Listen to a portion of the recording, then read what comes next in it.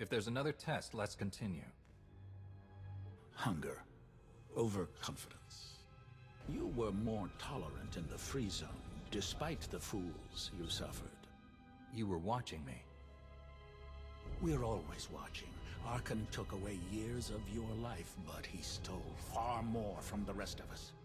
Do you feel anything for those who suffered while you slept?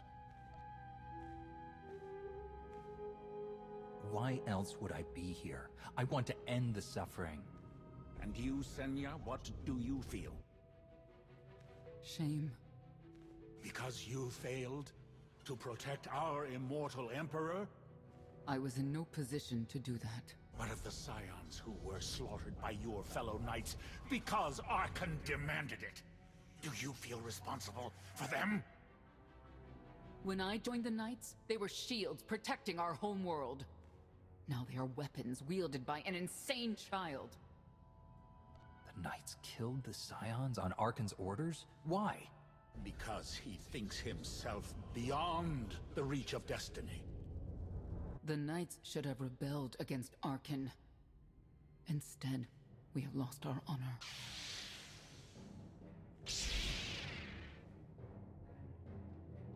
The eyes of Senya claim what can never belong to her.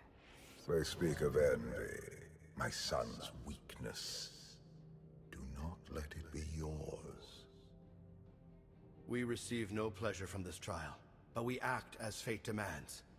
Be strong, Outlander.